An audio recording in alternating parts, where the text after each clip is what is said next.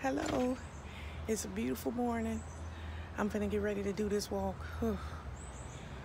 okay. gonna head out here and start this day. I want you to know that God loves you. Okay? So have a wonderful day, a peaceful day. And be respectful of everybody that you come in contact with today. Okay? Work through the pain. If you're having pain this morning, work through it. You could do it. Breathe in, breathe out, and start your day, knowing that God loves you, and so do I. Be blessed.